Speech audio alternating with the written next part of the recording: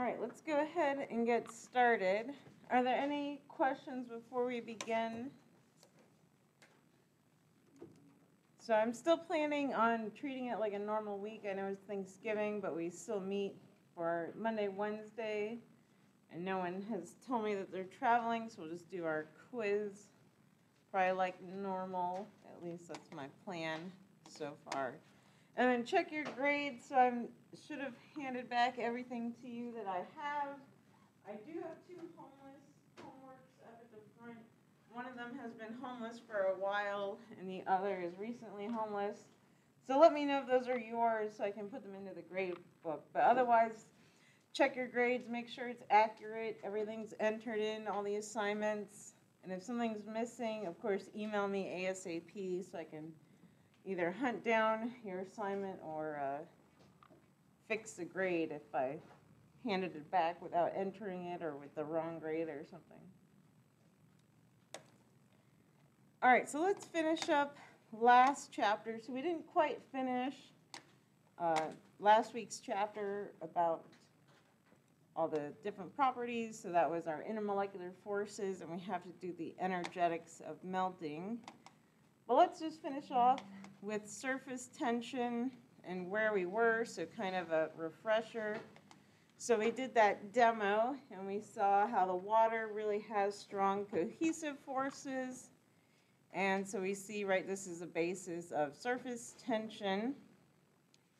And so basically, right, in summary, so stronger, I'll put stronger. Intermolecular forces, so that was between molecules, equals greater surface tension. And again, we saw that right with our water, which has hydrogen bonding. And so let's remind ourselves, so i.e. water that has H bonding, and of course, right, all of them. So it still has dipole-dipole, since it is polar, still has van der Waal. But we saw again in our demo how that had a really strong surface tension compared to, we did that molecule cyclohexane. And we can look at a picture of cyclohexane. So I drew it on the board kind of quickly. But it's basically this structure. So it looks flat in this drawing. It's not really flat. So this is a better structure, uh, 3D representation so you can kind of tell the shape. But again, it's basically non-polar, this cyclohexane. So we're kind of looking at that, right? So a bunch of carbon, hydrogen, those aren't really polar. And so, right, that whole molecule is then non-polar, which gave it pretty weak intermolecular forces. So this was non-polar. So it probably only has, right, our van der Waals, aka our London dispersion, so whatever term we use for that. And so that's why that cyclohexane kind of splooged, splu, uh, spilled over right away. And so, right, this also tells us why, like a paperclip can float on water. So if we were to just compare densities, a paperclip should not float because it is more dense than water. But since this paperclip has little holes in it, it's able to, of course, take advantage of surface tension. So same thing, uh, those different like lizards that walk on water,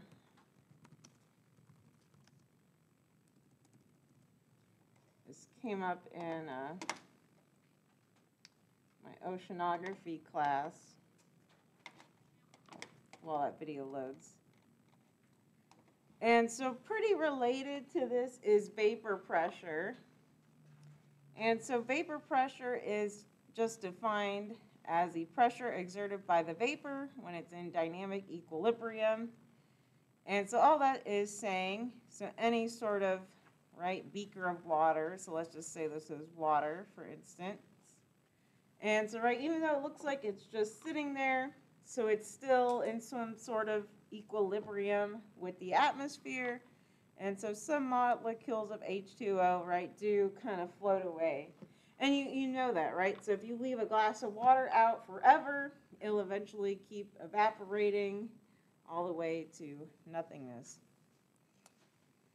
And so if we compare that, so I'm going to use kind of ether as an example.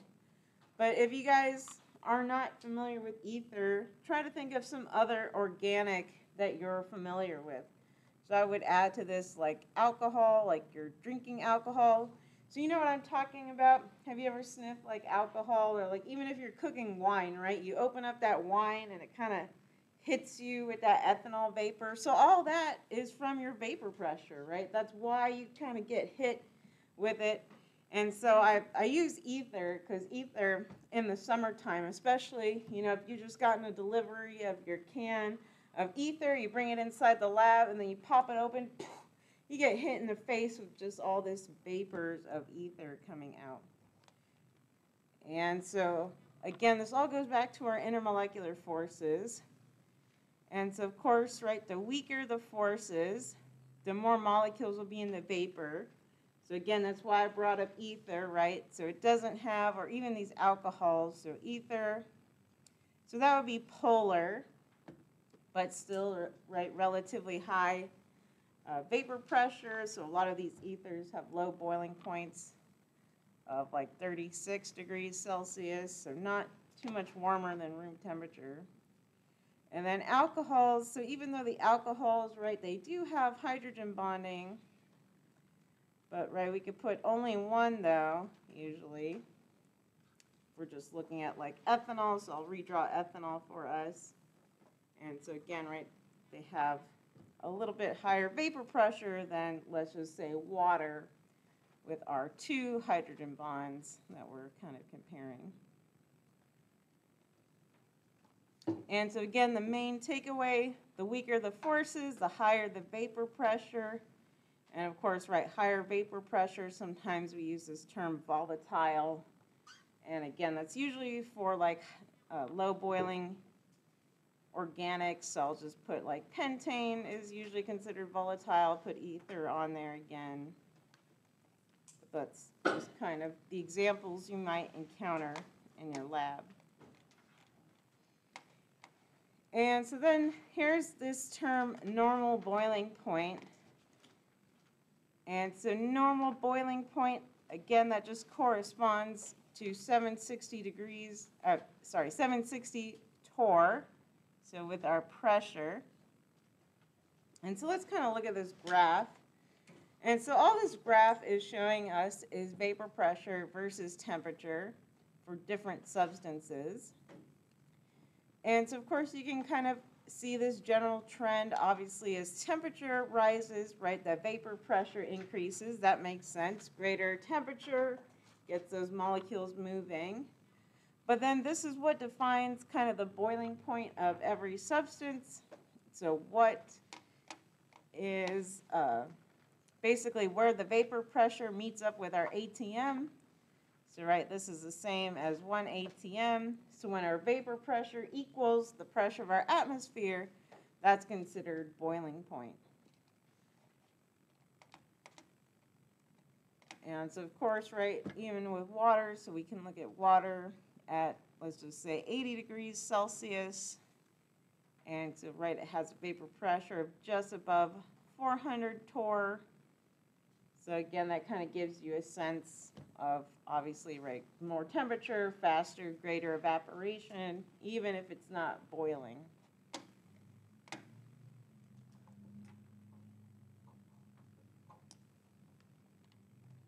I think that's really all. And so maybe on an exam, you might be asked to identify like what the boiling point would be based off of this graph. So water, it's 100, you know, ethanol, it's 78. So again, just wherever it crosses that 760 torr or 1 ATM line there. Questions about vapor pressure or anything? I'll just play this video. If this will play. So this is just an example of those lizards that walk on water. Oh, come on. All right, we'll go back to this. I don't know why YouTube is being. Costa Rican basilisk lizards are looking for food. Basilisks have been nicknamed the Jesus Christ lizard. Why? This adult male, probably the father of the young lizards, can't tell us. Nor can this female, exclusive property of the territorial male. It has nothing to do with the feeding habits of the basilisk, which consists primarily of insects and berries.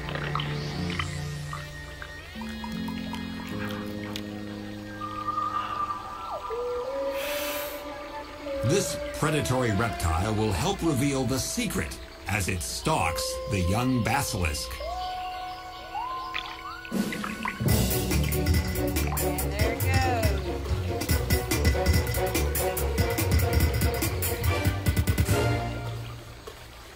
The basilisk is called the Jesus Christ lizard because it can walk, well, really run on water. So all that, right, that's all back due to our surface tension. And of course, right, it's moving fast too, so it doesn't fall down into the water. All right, last little bit of our chapter. And so now we have to go through the math. I know everyone's favorite part. And so now we'll go through kind of the energetics of melting. And so you kind of saw this in your lab. So you saw, right, anytime that kind of this heat um, plateau, this heat curve, anytime you had a plateau, that meant that you were doing some sort of state change. And then once it finished the state change, then your substance either continued to rise, or of course, if you were going the other way, so we could take this the other way, it would still plateau at the same amount, and then of course, keep cooling. And so we'll, we'll need to break that down. And so let's kind of look at our big ideas.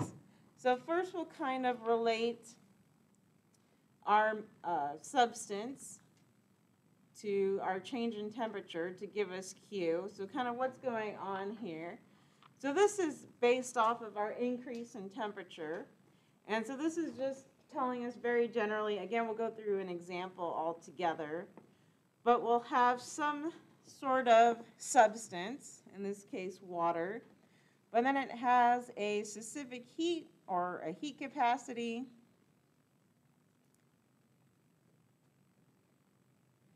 And so all this tells us is basically how much energy does it take to raise our degree of one gram by one degree Celsius. And so that's the CS. So of course you have to look this up for every substance. And then it'll be multiplied by the mass and times our change in temperature. And units could vary, again, if you're given a specific heat capacity in like moles or something, but usually it will be in some sort of grams per degree Celsius. And so we'll look at that. And then we'll also have to kind of look into these different state changes. And so that's given with this information. So we have different ones. So we have our heat of fusion. And so this is going to be for either melting, or of course, we're going the other direction, right? Crystallizing or solidifying. Or solidifying, I.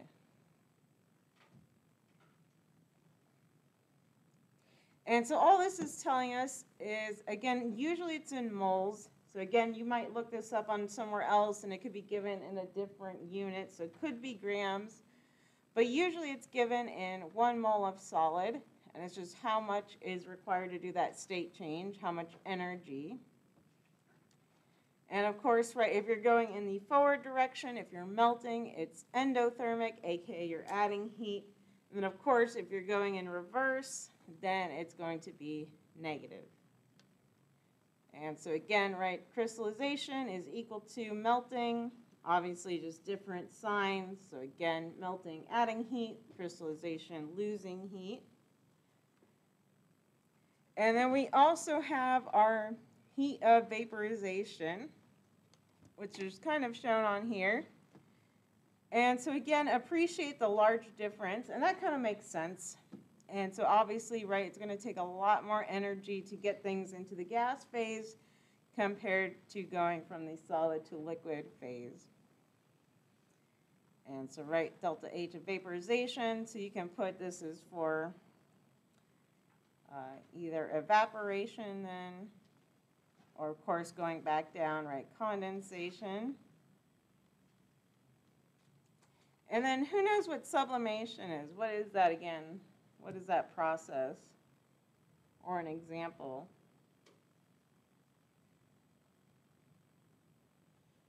What does that just mean, generally speaking?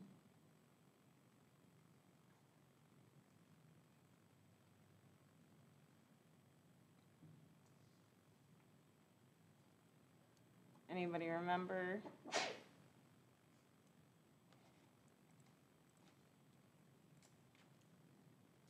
So sublimation, that's when you go from directly from a solid to a gas. And so this doesn't occur too much. Uh, sometimes you could give, obviously, a word problem with a weird scenario. Uh, some common examples are dry ice, for instance, right? So you buy that, it's in its solid state, and then it goes directly to the gas phase. We also mentioned that iodine, so that would be elemental iodine, that also does that. But let's just say you're doing a sublimation problem and they don't give you, right, the delta H of sublimation, so they often don't. But you can always just say that your delta H of sublimation is equal to your fusion plus your vaporization, since it's those two phase changes. So just keep that in mind if that comes up. All right, so let's go through this whole shebang and kind of go through it step by step. And so let's first take a overall look at this problem and what it wants us to do. And then, like I said, we'll go through all these little steps. And so basically, we're going to go through this heating curve here. And so we're going to start all the way at ice at negative 25 degrees Celsius. And we want to see how much energy does it take for that one mole of ice to turn into one mole of steam all the way at 125 degrees Celsius. And so we have to kind of break this down one little leg at the time, which is what they've done here. And so our first step is we have to just take that ice to zero degrees to melt it. And so let's look at that. And to remember that takes you back to this Q equation, since you're doing, right, you're changing temperature. And so again, let's look at what we're given. So we have our uh, heat capacity here, so it's given by this number. So it's a little bit lower for ice than it is for water. So water is about 4.19, I want to say. We'll look at the number later. Joules per gram degrees Celsius, but ice is a little bit lower, so it's 2.09. So that's important to keep in mind when you do these separately. Kind of a pain, but probably on an, an exam, I would give you, right, every specific heat that you would need and every melting point, so you're not, you know, trying to Google around like crazy. And so in this case, right, it's given to us the heat capacity in joules per gram degrees Celsius. But then they told us we only had a mole, so they converted, right, mass to, or moles to mass. So of course, if it's just water, that's 18 grams per mole. And then our change in temperature, so that would be right from negative 25 degrees Celsius to zero. So delta T is 25. And so that's how they got that number here. Let me turn on my calculator. And I'll punch it in just so we're all on the same page. Again, just watching your units in these sorts of cases.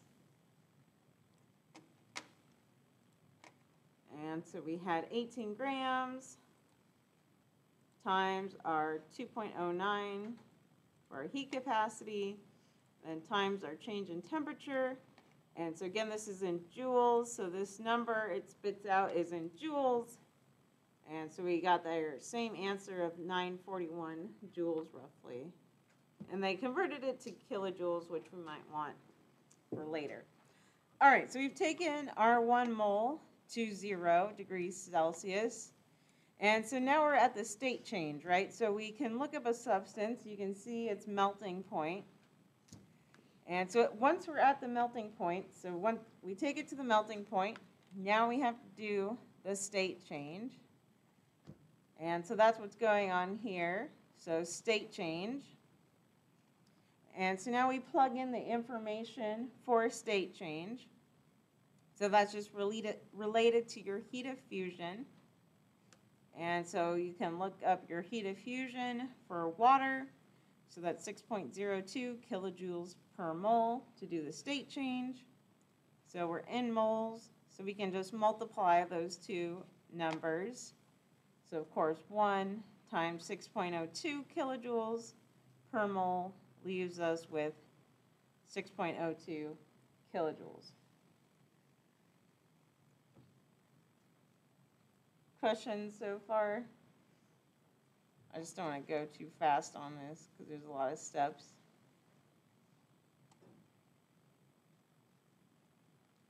All right, so we're all okay with this. And so, right, we're at leg two. So now we're saying, okay, well, now we did our state change. So now we're right here. And so now we have to take it from zero all the way to our next state change, right, which is our boiling point. So let's do that. Let's take it from zero to 100 and figure out how much energy that requires. And so now that's this step. So now we have our new specific heat for our liquid state. And so that's that 4.18 that we're probably familiar with water having if we've heard it before.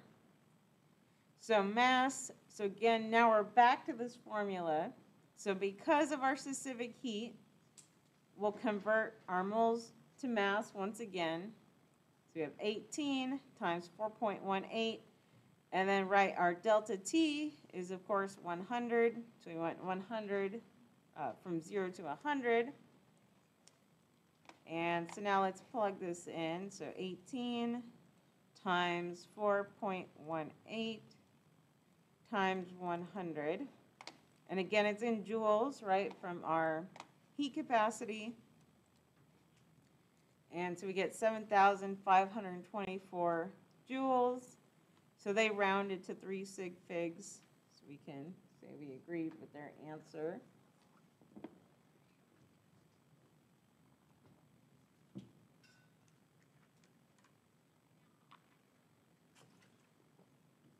So questions on this?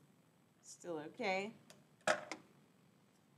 And so now, right now we're back at this point, at our boiling point. So we're at 100. That means it's state change time again. So that brings us to segment four. So now let's just mark this. So, okay, we need to do another state change. So we can say liquid to gas to help us. And so if we're going from liquid to gas, that's why we need our delta H uh, vaporization for that. And so they gave us the number of 40.7. And again, right, we can go back up to here and see, yes, that's probably what the answer is. And again, right, it's a lot larger than our fusion number. So a lot of energy at this step. And so, right, since our vaporization is given in kilojoules per mole, we already have moles, so we can just multiply our 1 times 40.7 kilojoules per mole to leave us with 40.7 kilojoules. All right, so feeling good about that. And of course, I like how they they accurately show this out. So again, you can appreciate how much energy that takes. So right, a lot of energy in that last state change. And so the last little bit is, well, okay, now we're here, we're at the gas phase, but we want to take that gas to 125 degrees Celsius. And so now that's that last little bit. And so notice, right, we have to get another heat capacity for water in its steam phase. And so you could find that information. So now the heat capacity is 2.01 joules per gram degree Celsius. So we still have a mole, so we can still use 18. So we have 18 grams.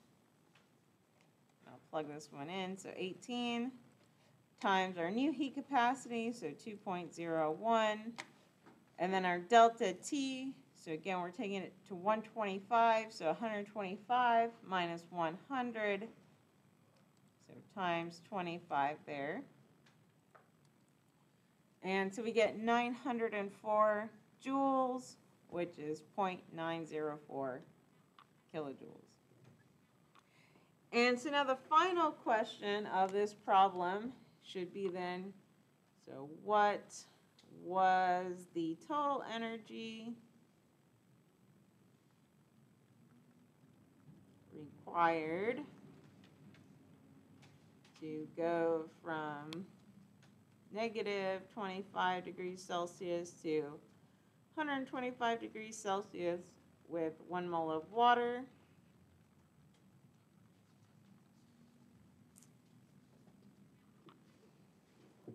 And so really this would be how an exam question is phrased and then you kind of have to break it down into all these steps.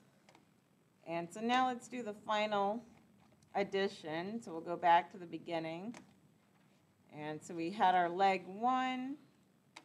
So that was 0.941. And now I'm going to go in kilojoules just to make the math a little easier. Then plus 6.02 kilojoules. And then plus, so then we did our warming up the water, our liquid water. So plus 7.52 kilojoules. Then we did our state change, so plus 40.7. And then we took it to 125, so plus 0.904.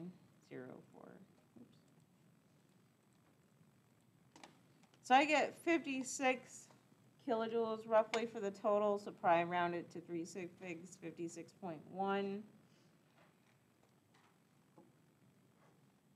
Everybody roughly get that?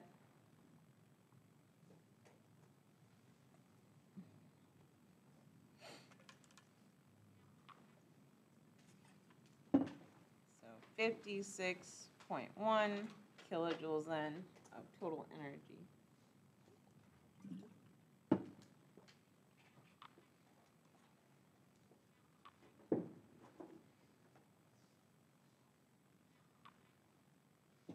Any questions about that?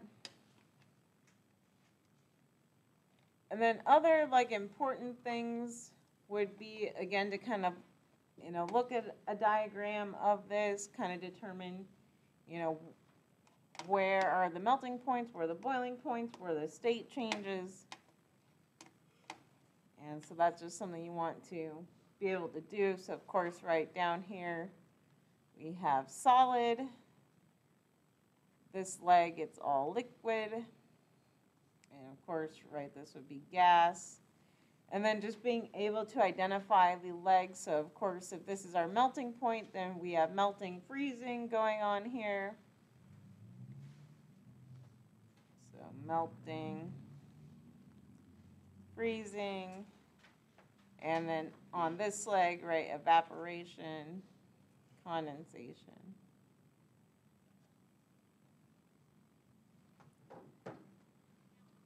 So as long as you feel good about that, then hopefully it should be okay.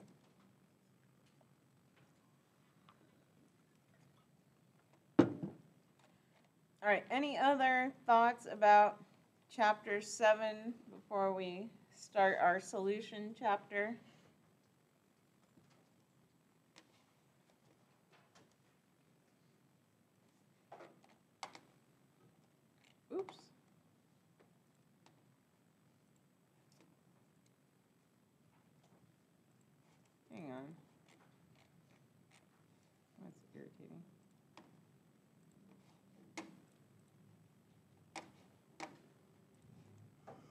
right, give me a second. I thought I loaded your notes, but I guess I didn't load them.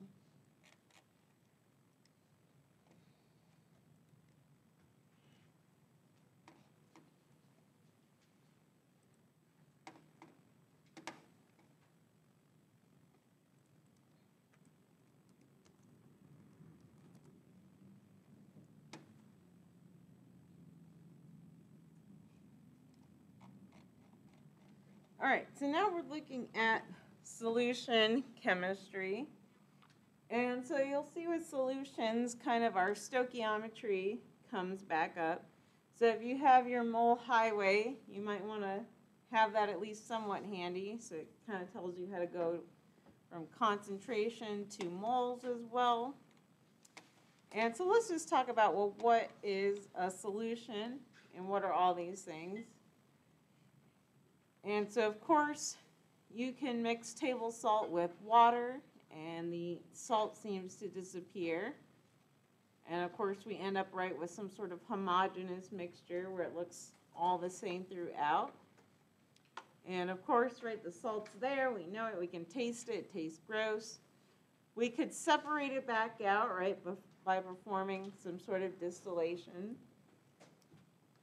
And so these homogeneous mixtures are often called solutions, and you've worked with a ton of them all throughout the your time here without knowing it. So every little dropper bottle, you know, your silver nitrate, and they all have that little molarity thing on that, all those are solutions. And so in our class, we mainly work with aqueous solutions, again, in our dropper bottles. And so what does that mean if it's aqueous? Yeah, so dissolved in water, and so that means, right, our solvent is H2O for aqueous. And then, so that makes everything else the minor component or the solute. So, right, the whether that's silver nitrate or sodium acetate today, whatever sodium hydroxide, we could obviously go crazy naming all our possible minor components, but that's just what's being dissolved. So I'll put a few, so NaOH, um, sodium acetate.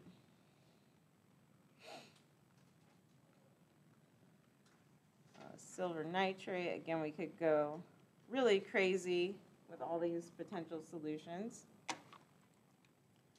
So excellent, and of course, right, we can have other solutions, uh, such as where you have like an organic as a solvent, but in general, we usually talk about aqueous solutions for our purposes here. And so then we kind of have this special mixture called our colloidal mixtures. And so what defines a colloidal mixture? And so with a colloidal mixture, the particles have to be large enough to scatter light. And so this is often called the Tyndall effect. And you probably have seen some examples. So for example, you could have a gas liquid phase, like a liquid aerosol. And so, right, that's going to be fog or mist. And so you probably know what I'm talking about without knowing it with this Tyndall effect. And so think about it with the fog, right? So you, you have fog, and right, it's hard to see when it's foggy. It's hard to know like where the light's coming from. And that's because, right, all those fog, all the little water molecules, they're all kind of scattering the light and causing that effect. So you can also kind of see that with dust, right? So if you've ever uh, you know, you smack the couch, and then all the little dust particles fly into the air, and if you know the light's streaming in just right, you can see all those little particles, and of course, again, those particles are large enough to scatter light. And some other colloidal mixtures that you probably weren't even aware were colloidal mixtures are like whipped cream and shaving cream. So those are different mixtures. You can also have, of course, paints, but like mayonnaise would be considered an emulsion, so that's like a liquid-liquid emulsion. And of course, again, paints come up again, so different pigments, obviously those are all some sort of uh, solution. So ink and blood can also be considered a colloidal mixture. pumice stones, of course, pumice stones have the little gas holes left over. And cheese can be a, an example, same thing, right? Gelatin. And then other mixtures are, of course, like gemstones. So all those can be considered colloidal mixtures. All right, so now let's kind of look into, well, why do things dissolve? And we'll again kind of focus on our aqueous solutions. And so we're kind of back at this idea of, well, why, why does salt form a nice mixture? And like, why does sugar dissolve? So how do solids dissolve? And so have you heard this like dissolves like before in your classes? And so like dissolves like, and so this is based upon the intermolecular forces. So kind of similarity in intermolecular forces.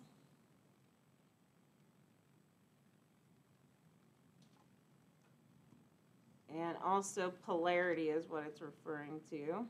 So we'll look at some examples. And so this is just what happens when a solute dissolves. And so this is kind of cool. And so you have to think about, and let's just think about sodium chloride for instance. So right, we have NaCl. Obviously, these, this is all just one molecule. But let's think about sodium chloride. And so, of course, right, we've said, well, sodium chloride, they're ionic. And so they're just held together by those electrostatic interactions and, of course, also the stability of the crystal lattice structure. But like we mentioned, of course, our water is pretty polar. So it comes along. It has those lone pairs. We can write our partial negative, right? These hydrogens are partial positive, again from our hydrogen bonding, and of course water being polar. And so as long as the solvent-solute interactions are strong enough, and so right, sodium is going to be attracted to our oxygen, and chlorine to our hydrogen. And so if our solvent-solute interactions are stronger than the solute-solute, then they dissolve. And so that's what mainly drives our dissolution. And so you can see with your solubility rules, right, so there are obviously some cases where uh, that's what makes things insoluble. Basically, you know, for our silver chloride, let's just say as one example, or it's not soluble. So obviously, right, these solvent-solute interactions aren't too strong compared to the uh, solute-solute, aka your silver to chlorine interactions. And so there's probably something to do with like the radius of silver and how it binds them. And so that, again, that's kind of what drives those trends. So blah, blah, blah. So we looked at that. So there's sodium chloride dissolving in water.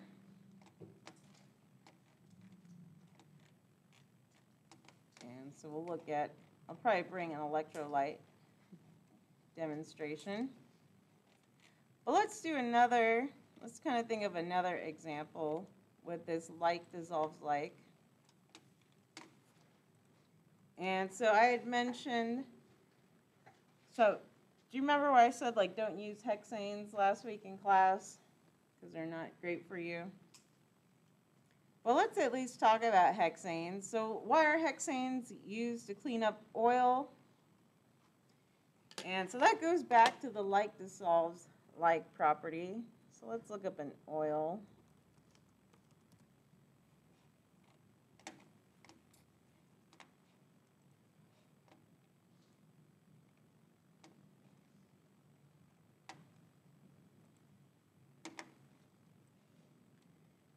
So let's just look at oleic acid, for instance.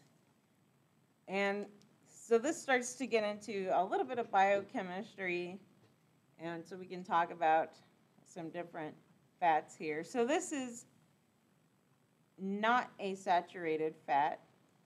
So I think it's technically called a monounsaturated fat. And well, what the heck does that all mean? And so let's just look at, so, right, a hexane, that's just a six carbon chain. So one, two, three, four, five, six. One, two, three, four, five, six. So there's our six carbon chain. And so for right now, we're comparing it to a mono unsaturated fat. And so mono unsaturated just means that it has this one double bond here, right? But look at the rest of the structure of this oleic acid, right? It kind of looks like hexane, just straight carbon chain. That's kind of what we're getting at here. And so what we're saying, again, like dissolves like. So most of this molecule, so of course it still has this N that's polar, but for fatty acids, right, they start getting into these really long chains. So this is still considered pretty nonpolar, this oleic acid. And so, right, they would dissolve one another since they're both ma mainly nonpolar. And so that's again what we mean by like dissolves like. So we're kind of looking at these structures. And so we can look at other fats as well. I'm trying to find, let's find a saturated fat. And so just for clarity, like this one, palmitic acid. So this would be a saturated fat. Again, saturated just means that every carbon has all the hydrogens attached to it, so there's no double bonds or anything. And so, of course, right, this would again be soluble by hexanes or another straight chain organic that looks pretty similar to it, right? But then these are not miscible in water, since again, they're pretty nonpolar. So that's why, right, our oils and waters do not mix, for instance. So that's our common saying.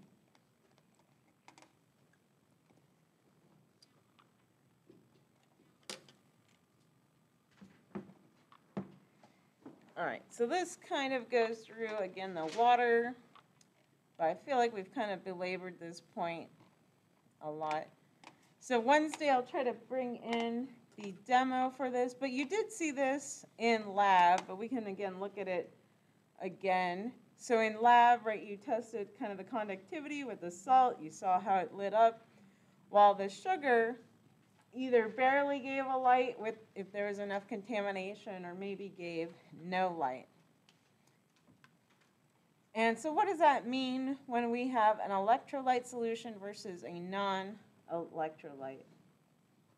There's kind of one key word there that we can use. Let's see if we remember.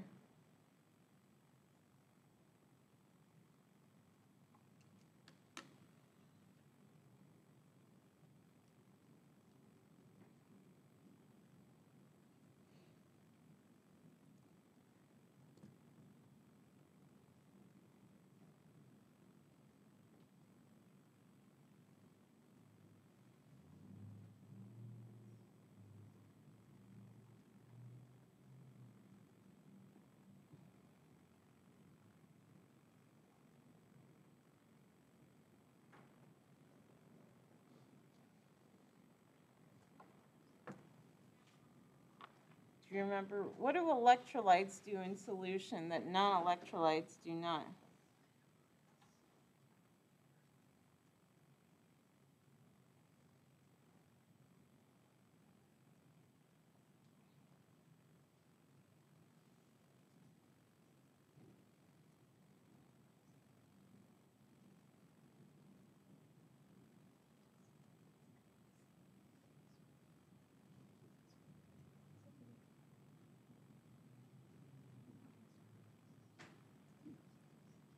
So remember, they disassociate. This, so. Right, so anything that is an electrolyte, remember how they disassociate. So we can write that, so we've kind of been doing this in lab, where we can write them disassociating. So of course, write sodium chloride or any ionic compound disassociate. So we could do that, right? Magnesium sulfate would do the same. So our ionic compounds. And then again, sugar. So sugar does not, so it's more a discrete molecule or, you know, something else. So I'm going to look up another molecule. If it'll load. Okay, so like aspirin, right, would not dis- disassociate in solution. So sugar, any molecule, right, so molecules tend not to disassociate. And so we've left out organic acids for now, but we'll touch on them.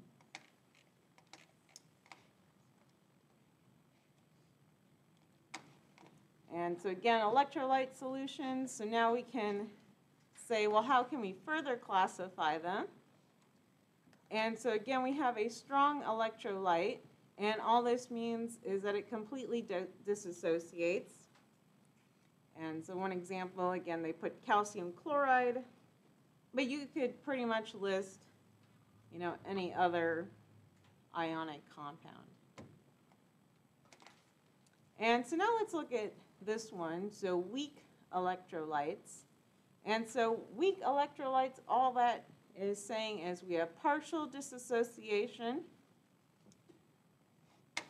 And so here we have formic acid. And so let's look at this. And so some example of weak electrolytes are going to be organic acids. There's a few others, or any other weak acid, but right now we don't know what a weak acid is. So we have to come back to this. And so this is what formate is, an organic acid. And so let's kind of look at that. And so this little structure, so we just have one carbon. So it looks like this. So this is formic acid, so very small. So one carbon, and then notice something you might want to be able to start identifying is this. So our carboxylic acid group. This will help you later at least, especially if you were to go on to other chemistries or OChem later. And so this carboxylic acid group, it has what's called this acidic proton. And so in solution, what that means is that your water is going to come along and it's going to want to pick up this proton. And so, of course, water has these lone pairs. It's going to attack this proton. The electrons in this OH bond go back to our O here.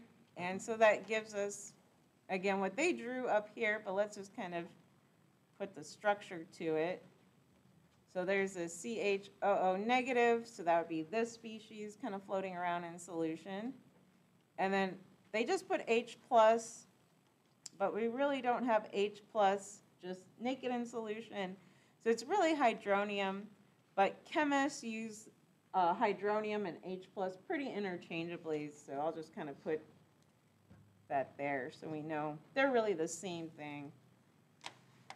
And so again, this is our partial disassociation that we usually see with these weak electrolytes. And again, we'll name more weak acids when we study acids uh, next week. And so again, we have our electrolyte solutions. And so anything strong is fully disassociated. So again, sodium chloride is a strong electrolyte.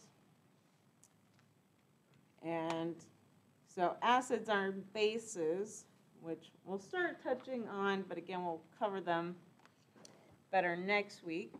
So depending on the identity, so we'll go through later who's who, what's what. But for example, HCl is a strong acid, so that's going to fully disassociate. Other strong acids would be like nitric, acid. Or, we'll see, we have a lot of those like multiprotic acids, but like, let's just take sulfuric. So the first disassociation is usually the strong one, and then the rest would have some sort of equilibrium. But we'll go into our acids uh, next week a little bit more in depth. And so again, what defines a strong acid is not how much it hurts you, but rather, again, whether it disassociates. So HCl is our strong acid. It disassociates completely in water. And then, so we did some titration with vinegar today. And so I just want to draw out vinegar and kind of show that. And so vinegar is, of course, this funky formula, which can be written in different ways. But basically, two carbons. And so, right, C2, so two carbons. And then here's the H3 that's located there. This H is our acidic proton, our OH. And so again, we write this kind of equilibrium. We could draw the water coming on. I like drawing this just for mechanism's sake. It's good practice for y'all. Ooh, I went crazy there what I was doing. And so then we make our acetate ion here. And right, it's like sodium acetate you've seen before, uh, plus hydronium. Wow, your class ends at two, right? Or no? Two fifty, okay, I'm, why did I think we started? Okay. So I have another hour, right? Okay, I totally was like losing my mind for a second.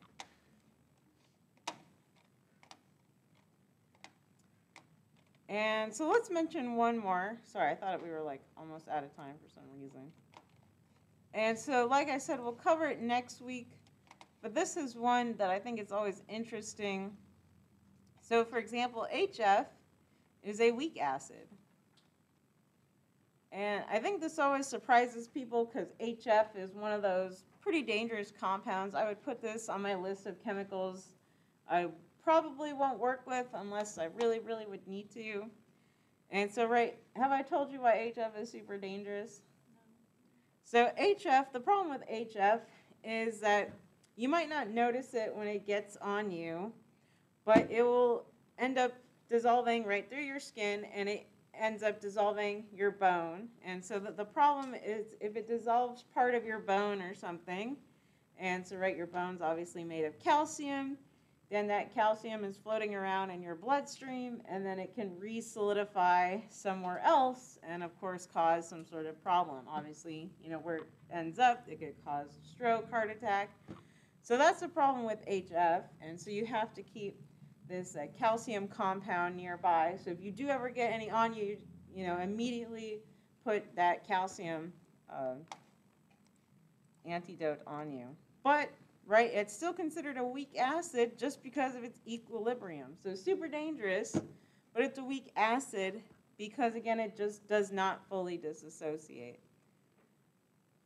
And so I'll write it like this, and kind of, and again, our equilibrium arrow shows that it does not fully disassociate. So it does not fully disassociate. Again, that's really that what defines a weak and a strong acid, not how dangerous it is.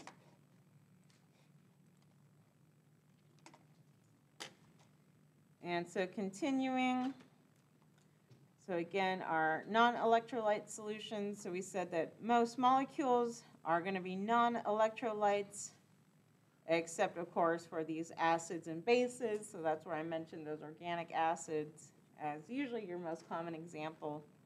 And we won't get into all the organic bases.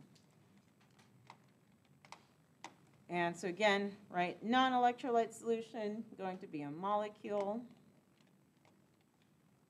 And So I'll try to bring in our demo so we can see our light bulb light up of our sugar versus our weak acid versus either a strong acid or uh, sodium chloride or some other ionic compound.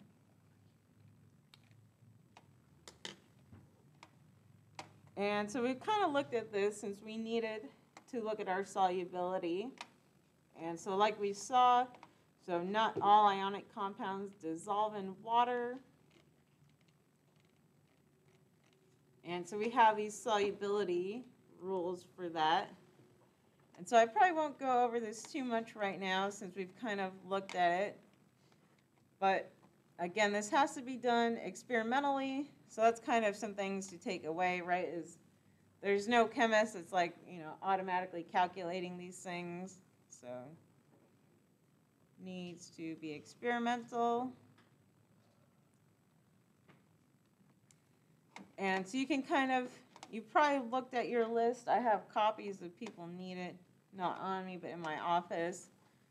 But you can, again, kind of see our group one is always soluble. We have nitrates and acetates as well as always soluble. And then obviously we've gone through our exceptions. So usually our heavy metals are insoluble. So our silver, mercury, lead, sulfate. Again, we saw the same thing this time with group some group two, and then also heavy metals where they're insoluble. And then all these are generally insoluble, except of course some exceptions, obviously the group one. And then notice, right, these group two, you could have some discrepancies. And again, in this class, we won't go into the math, but if you wanted to really quantify how much was soluble and get into the nitty gritty, take my 200 level. All right, let's do this little exercise so at least we can be all on the same page. So looking at your solubility rules or looking at the ones on the board, determine whether these four compounds are insoluble or not. So take a few minutes, ask your neighbors. So you've had some practice with this, but.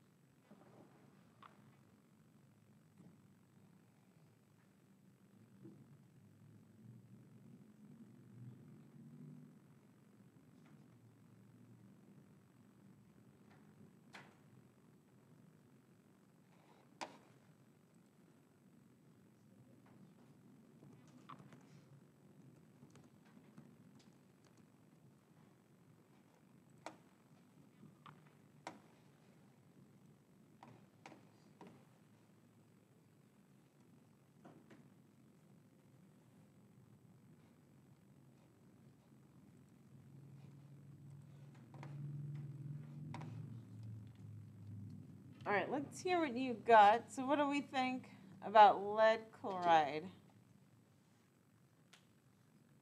So soluble, insoluble. So insoluble, is that what everybody got? So excellent, so insoluble. You saw that from your rules here. All right, what about B, copper chloride? Soluble, is that what everybody got? You can give me excellent thumbs up. Looks good. Calcium nitrate, soluble, insoluble? Soluble.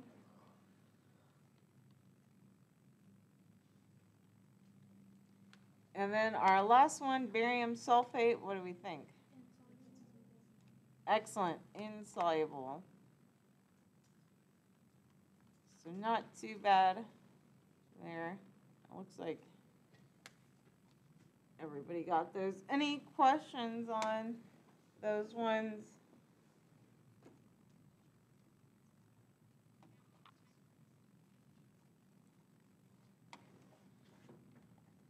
And so now we just have this graph here. And so again, you probably have noticed this, if, especially, you know, if you're ever trying to dissolve sugar or something. And so in general, for most solids, the solubility of the solid increases as the temperature increases. And you kind of saw that in lab too, right? How things, for the most part, tended to clear up when you put them in hot water. And of course, there are some exceptions. So for example, this compound here, cerium sulfate, so I'm not entirely sure why. I, I've tried to look it up before in the past, but haven't found a good explanation, so. But for some reason, right, this one actually decreases in solubility. So there has to be, you know, something about those solute-solute interactions getting stronger, kind of interesting there. But for most of the other substances, again, all we're appreciating is increasing solubility with increasing temperature.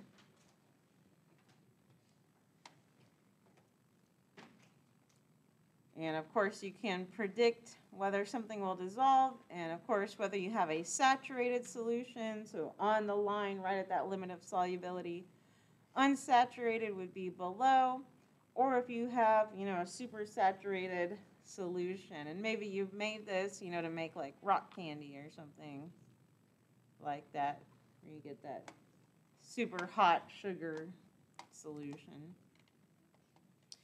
And so gases are the opposite of solids. So you might want to put that somewhere. So gases, right, opposite. And so, right, we just finished saying, well, solids increase solubility with temperature. But now if we look, well, gases have a lower solubility in water. And then for all gases, the solubility of the gas decreases as the temperature increases. And so with these different phases, so right, we have a gas in solution. And so of course, heating it up causes the gas to come out of the solution.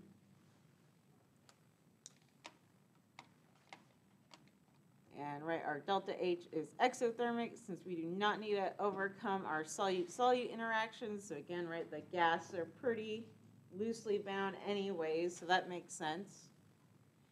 And so you can also observe this. So if you pour out warm soda, it's going to appear right really fizzy, but it's going to go flat pretty quickly, right, as all those gases escape, versus pouring out a cold soda. So right, it looks not as fizzy, but of course all the gases are still dissolved in there.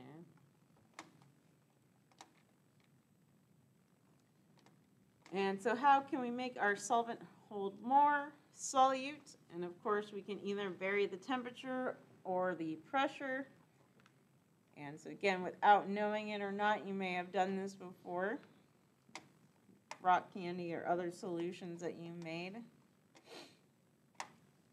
And we also looked at right supersaturated solutions. You can think of your sodium acetate crystals as well. that we played with, that little substance in lab that we are trying to crystallize. So that was, you know, really supersaturated solution. So we heated that up, got it nice and hot, cooled it down, and got it to crystallize.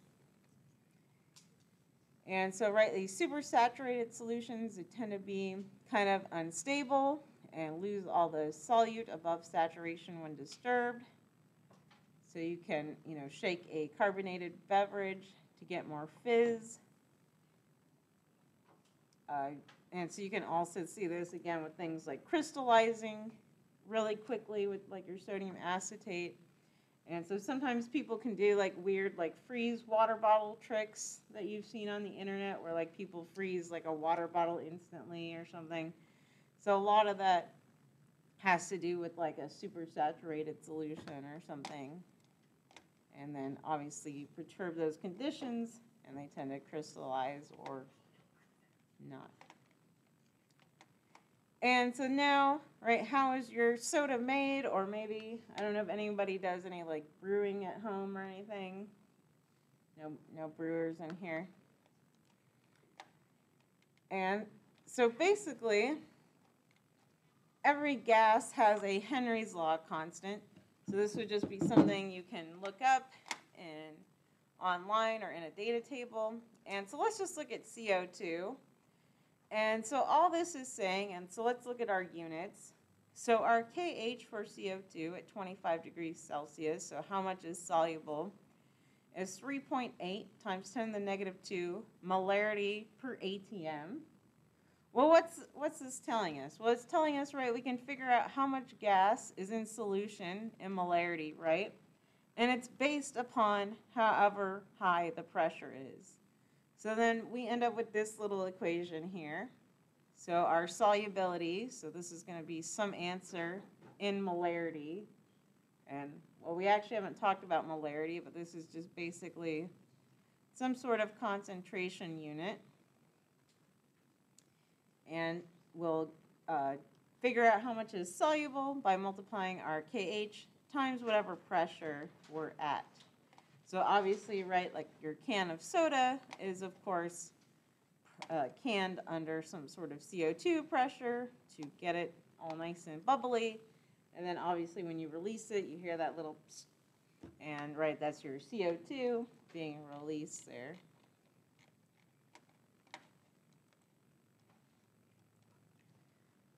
All right, so now let's look at all our solutions. So we're starting to get into the math. And so we just kind of have, right, these terms, dilute, concentrated. They're not really well defined. I kind of define dilute as anything less than, oops, less than three molarity, and then concentrated tends to be kind of above three molarity. Again, that's kind of general rule of thumb. And obviously our concentration tells us some sort of amount of solute in a given solution. And so now let's actually get into the details of all this and the math, the fun part. And so we'll, this is kind of our cheat sheet, I'll say, and then we'll go over these more slowly. But this would be a good, you know, kind of summary of what's going on. And so we'll look at molarity first. And molarity, we've seen a lot in labs, so that's just moles over liters. But again, we'll go over it a little more slowly. So don't confuse molarity with molality. So I don't know who invented this, but they're only off by one letter there. So watch that. And so molality is the amount of solute in moles over the mass of solvent in kilograms. So some people say this is more accurate, but honestly, I don't see people using molality a lot in uh, practice, at least not with my area of chemistry and research and anything. And then we have mole fraction. So I think we've seen mole fraction before. So again, we'll go over it that. So that's just amount of solute in moles over total moles. So notice that's total. And then we can take our mole fraction and turn it into a percent. So they're pretty related there. And then we'll look at parts by mass. And so you may have done this in lab. And, um, or you kind of have these different variations of this. So it could be parts by mass, so mass over mass. It could be mass per volume, like was given in your lab. And if you haven't gone to lab, you can grab one and kind of see. Well, there's different variations of that. So parts, so you could do gram per volume. And then we'll look at these other ones as well. So parts per million, parts per billion. So these, of course, often come up in like water quality reports, but we'll be able to quantify that a little better. All right, so let's start. Well, how do we prepare a solution? And this is kind of cool because this is what, right, our stock room has to do for us. And so they know, right, like the amount of solution. So like, let's take this week's lab. So they know that we're preparing, you know, a 0.1 molar sodium hydroxide solution. They calculate, you know, how many students are, how many stations. So they know total amount. And then they have to, of course, prepare the stock solution. And so let's go through this little example. And so again, it depends what's needed. And so the stockroom has some prep sheet with my lab instructions. And it says, right, whatever they need to make. And so this would be an example of a weight by weight solution. And so let's say it says you need a 5% by mass. And this just means, right, weight by weight. So mass by mass solution. And so all that means is I want five grams of solute in 100 grams of solution total. And so let's look at this other example. And so now in this little example, it's saying that we want to make a one molar sodium chloride solution. And so this goes through just how to properly make it. And so notice we make it in a volumetric flask. And so a volumetric flask is designed to only measure one measurement. So in this case, they used a one liter volumetric, so it's extremely accurate for one liter, so it has just a nice little line there, but that's all that it measures.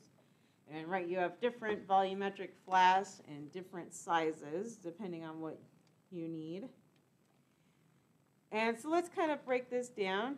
So if it's one molar, so we said molarity is moles over liters. And so in this case, right, if we want one liter, then we need one mole. And so then, right, we have to convert our moles to mass. So if we're doing sodium chloride, that ends up to be 58.44 grams of sodium chloride. And so that's the first step. And so, right, let's say the stockroom had to make a sodium hydroxide solution for us. So that would be the first step, is figuring out how much sodium hydroxide, putting it into this volumetric flask. And then the next step is to add water until it's dissolved. So, right, you'll probably swirl that around for a little bit, get it nice and homogeneous. And once it looks pretty homogeneous, then you want to, of course, very carefully take it to the one liter mark. And if you go over that one liter mark, right, you have to start all over again or else your solution is not accurate. And so that's kind of the key point.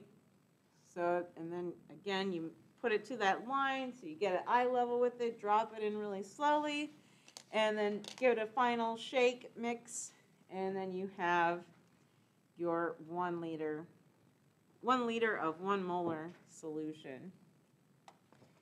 And so that's essentially, right, what the stockroom has to do for us on a weekly basis. And so now let's look into molarity a little bit deeper. So molarity, again, that's just moles over liters. And so again, molarity describes how many molecules or atoms of solute are in each liter. So if we have a sugar solution that's two molar, right, that means we have two moles of sugar in every one liter. And two liters of that sample would of course have four moles of sugar. 0.5 liters would be one mole of sugar.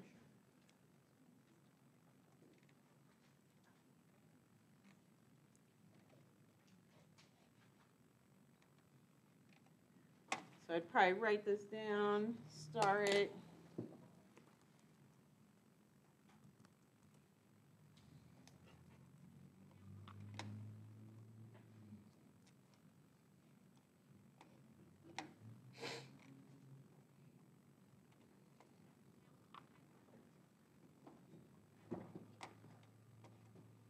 And so now I'm looking at the mole highway, but I realize I actually don't have what I was thinking about.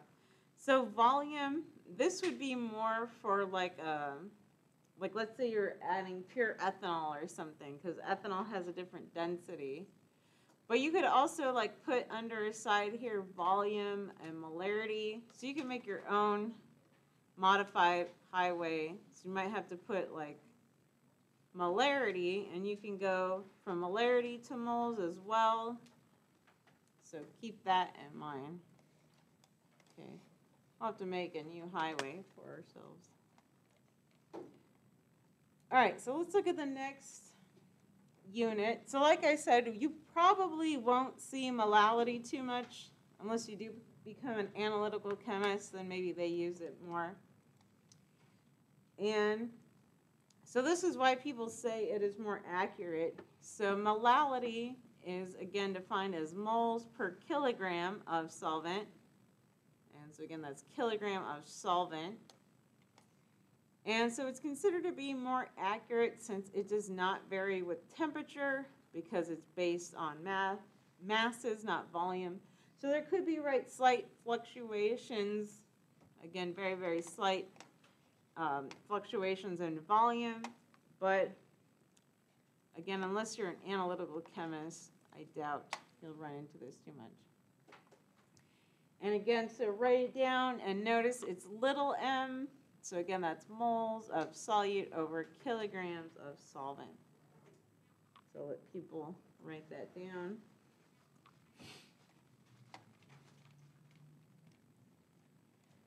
And so then we have this parts in parts, like we mentioned, right? That could be mass by mass, weight by weight, volume by volume.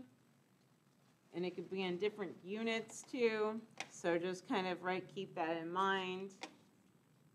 And kind of pay attention to what the solu- uh, solution and question are both kind of saying. And so, right, we could have a par- percentage. So percentage, that just means it's a part out of a hundred parts, right? Because a percent is out of a hundred.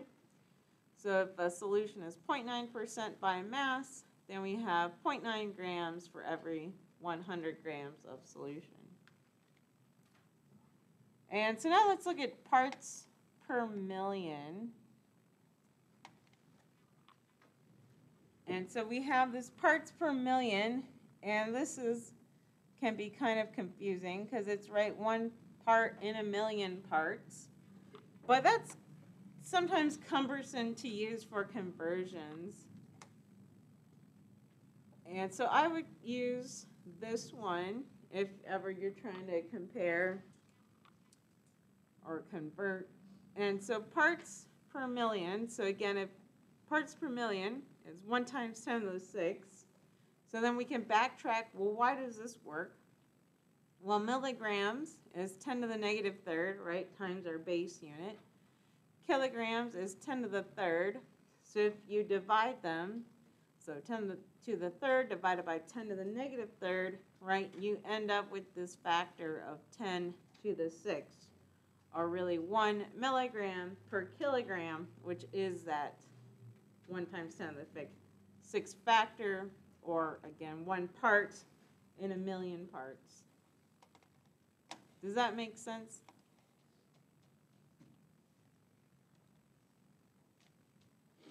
And so with that, right, parts per billion is pretty similar. So again, it's one or however many parts in one times ten to the ninth or a billion parts or solution. And again, for this one, so I like this microgram per kilogram factor. So microgram is 10 to the negative 6, right? Kilogram is 10 to the third. So if you divide them, you get that 10 to the ninth factor. So you can do again micrograms to kilograms. And that gives us our parts per billion there.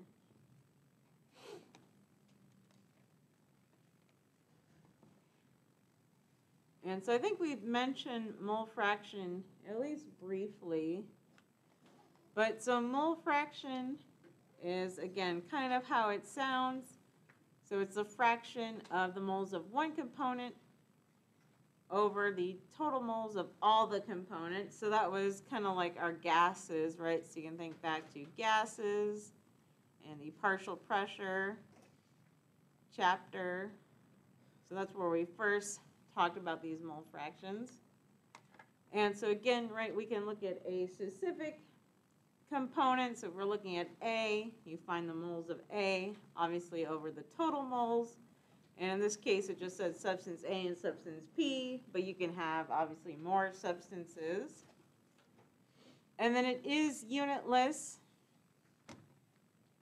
And then again, we can take this mole fraction and convert it to a percentage as well. So whatever is more convenient to you, whatever you're using in your problem.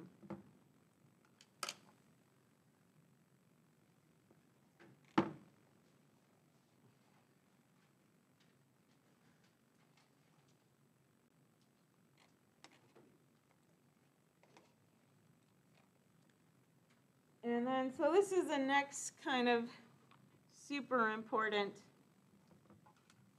formula. So I would star this, highlight this, whatever. And so there's different forms of this. So I prefer this very general form. So all this is saying is our concentration of our first scenario times our volume 1 is equal to our concentration 2 times our volume 2. And it really doesn't matter what this concentration is in. So that's why I like this more general form, right? Because concentration could really be in any unit, same as volume, as long as they're consistent.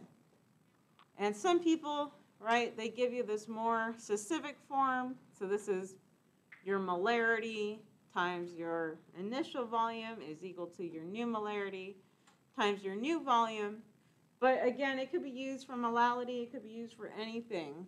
So you don't have to just be committed to molarity. But often people just give you this form or books give you this form, but the more general one is acceptable. And it works, so it doesn't matter. And then blah, blah, blah. So again, right, you often see this M1V1 instead, but really same formula. And so this would be something else that the stockroom might do pretty often. And so right often they either just have stock solutions or this would be more for like an acid or something. So like acids, you buy them in like 12 molar stock solutions and then the stockroom has to dilute it down for us. And so in this case, so let's first figure out well, how much of our 10 molar solution do we need here? So answer that before we kind of reveal. So right, we have our C1V1 equals C2V2. And so it says we want to prepare 3 liters of a 0.5 molar solution from a 10 mil stock solution. So what's our volume of stock? So take a moment to try to figure that out.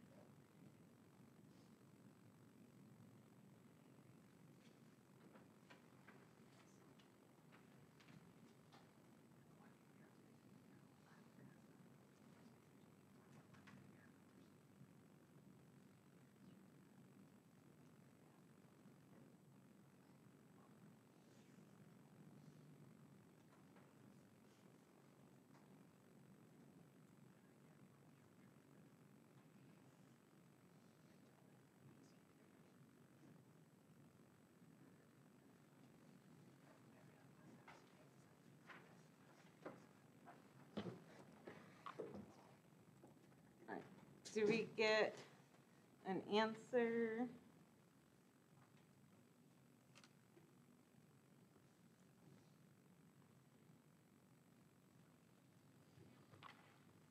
All right, we can just call this our conditions one. So, right, V one, C one. I'll just call this C two. We want V two. So then we just set this up, so three. And again, right, it doesn't matter our units as long as they're the same. So we're in three liters, 0.5 molarity, okay? And at least we're in molarity still. And we'll be getting out liters then.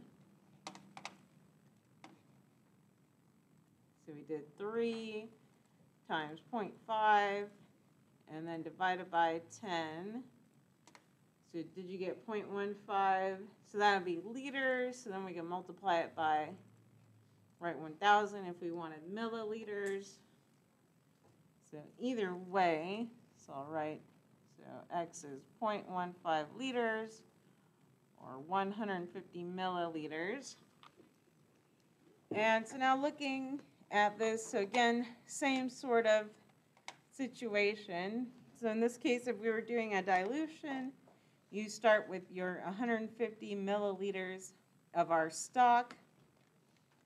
And so then we'd put it into our little volumetric again. And so notice if they want three liters, they're choosing a three liter volumetric here. And then you just dilute it. So you'd probably want to, you know, take it a little bit, dilute it, swirl it around, and then finish. And of course, take it to the top nice and slow so you don't go over. And so again, our stockroom does this for us, so give them a big thank you. All right, let's try this one. So this could be something else that our stockroom does. So what volume should we dilute 0.2 liters of a 15 molar sodium hydroxide solution to get a 3 molar solution?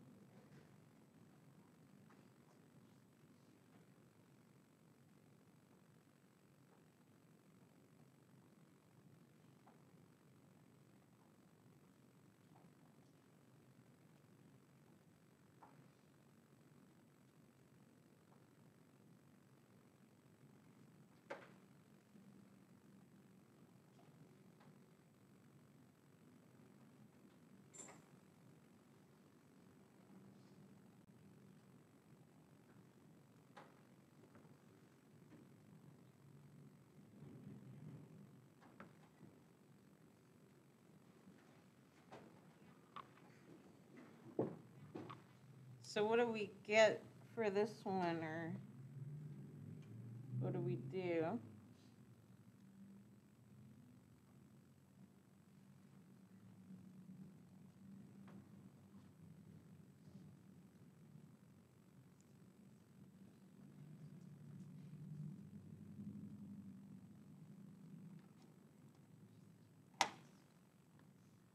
Right, we still have our C1, so this can still be V1 here.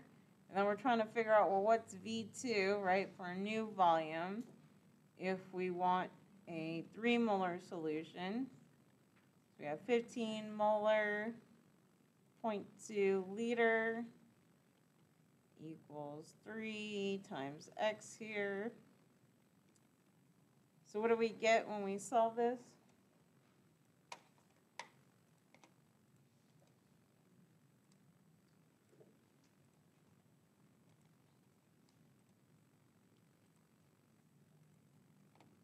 So Divided by 3. So did we get 1 liter there? Seeing, everybody get a liter? And so we get, we should take this down to one liter divided by five there. Any questions on that one?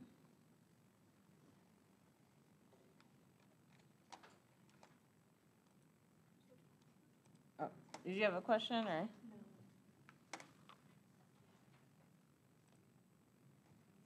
All right, so the last little bit, so let's see. So we'll finish, hopefully today we'll get through all this. If not, that's fine. But then Wednesday we'll do practice because you might be able to tell where this is going. So of course, we can then do our wonderful equations that people love with stoichiometry, except with solution chemistry as well. So we'll do some of that practice on Wednesday, putting it all together. All right, let's see how far we can make it. So we have freezing point depression. And so, right, what does that mean? So the freezing point of a solution is lower than the freezing point of a pure solvent. And you saw that in lab, right? So you took your little uh, ice and then you put salt in it and you kind of compared the one with just ice versus the salt and ice. And so you probably saw that that salt solution, salt ice solution, got lower in temperature. And so we'll look at the math behind that. But basically, what's happening is we have our nice crystal structure of water, and then we put our sodium chloride or whatever salt in there. And of course, that disrupts our crystallization. And so now the temperature has to be lowered for that solution to freeze. And of course, right, the more solute, so the more stuff you put in your pure water, the lower that freezing point goes. And so this is just kind of the math behind it. And so we'll look at this map. And so ironically, I said we hardly use molality. Well, this is one case where we might use molality. Again, it all depends on what your KF is given in. So in this case, the KF is related to molality.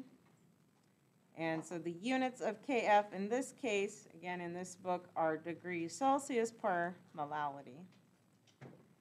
And so we can appreciate that again on this curve. So this is a uh, phase diagram. And so right, we have solid, liquid, gas. And so our pure solvent is in blue here. So you can kind of highlight so where our pure one is. And so now let's kind of zoom in. And so right all along this line here, so it's the liquid solid phase. So this is where melting occurs. So this would be right melting or normal melting. Normal. So all along this line is where melting is. And so notice right with the solution, so it's called freezing point depression, and that line is just moved on this phase diagram. So now, again, we just have to go at a lower temperature to still freeze that same solution.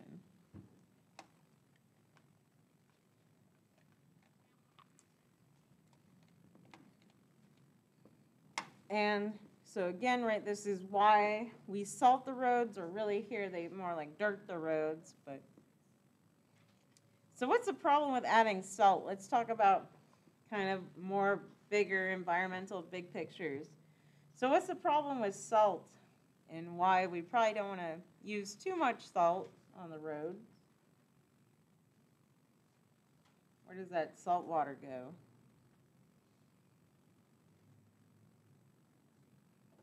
So What's the problem with salt? Why doesn't Oregon use too much salt out here? So it does rust the cars. That is a good point. So that's, let's add that. So right, salt. So salt does cause rust, right? And so I don't know if you're aware of that, eh, especially if you have never been out east. So out more like east, they use a bunch of salt. And so that salt just speeds up the oxidation process of the undercarriage. And so either you have to like wash your car a lot in the winter, which sounds counterintuitive, or you know you end up with a rusty car. So just be careful if you, of course, you're purchasing a car secondhand and it's been somewhere in these snowy conditions.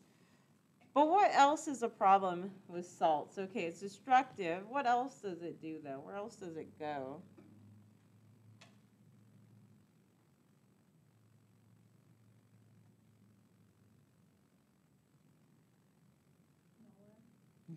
Well, it goes back into the water, right? So we can think about so what happens, you know, we pour a bunch of salt on the roads and especially, you know, in Oregon, we're pretty close to our river sources. So either they're going to Bear Creek and then eventually ending up in the Rogue River, which all ends up in our freshwater. And so that's really the other problem is the freshwater contamination. And so, right, unfortunately, that salt is just going to contaminate all the rivers, all the streams. And so, yes, it does, you know, do freezing point depression. Obviously, that helps us, but we probably want to be careful with it. So, I do give props to Oregon for just doing all the dirt and the gravel instead. But something to be conscious of, so don't go too crazy spreading salt everywhere. Got to think about that water.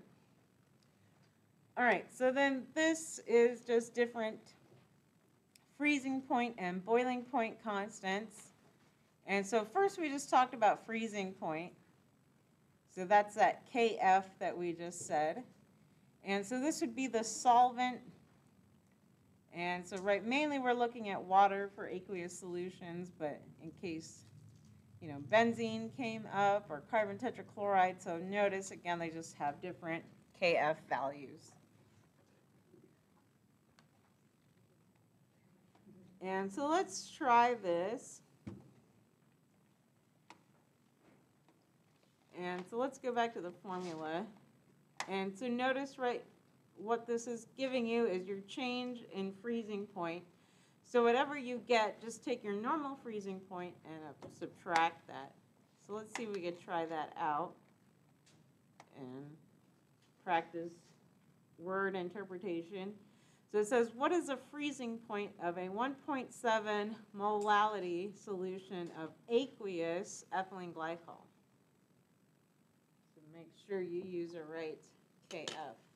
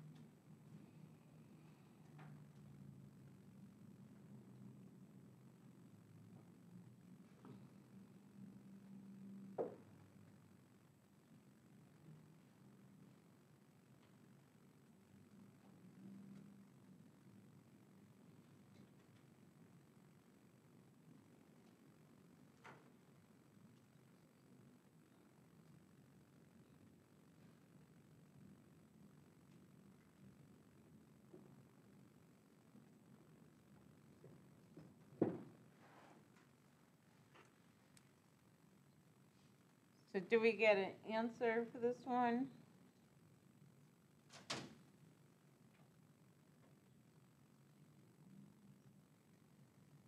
So what do we use for KF? Which value?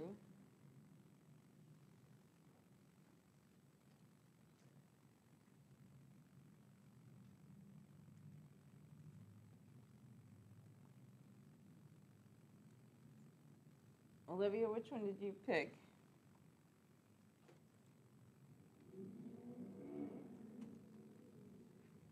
We had our keyword of aqueous, so which one did it want?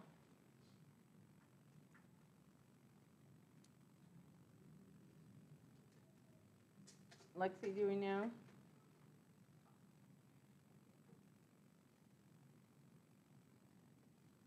What was aqueous referring to? Water. So right, that's that was the tricky part of this question is we had to know to choose this one for aqueous. So some people got confused by ethylene glycol, at least in the past, and we're trying to look for ethylene glycol on here. But it's just aqueous, right? So this is our solvent. So this is telling us, right, solvent. So this is, even though ethylene glycol, so this is just antifreeze, so it could be used as a solvent, but in this case, right, it is our solute. And so all we need then is to plug in those values. So we have our KF, and again, right, because it's degrees Celsius, molality, so that's looking good there. It's just always good to double check your units of everything.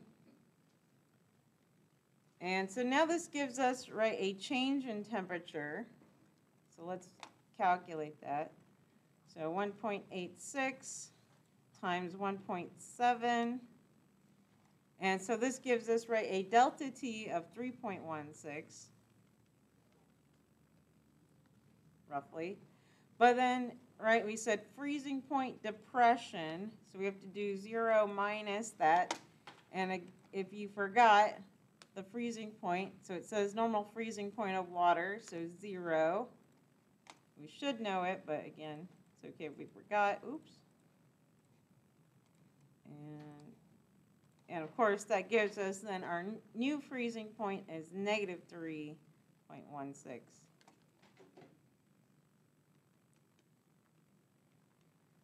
All right, I think in the interest of time, we'll stop there. So you can get a preview. So we'll continue with boiling point elevation. So basically, we'll see how their boiling point is higher. We'll do the math, but we'll pick up there. And again, check your grades, check your grades, check if those aren't your homeworks. If they are, just let me know so I can credit you. And then otherwise, I will see you Wednesday. And of course, stick around, ask questions if you need help on anything. I'll go ahead and stop this stream.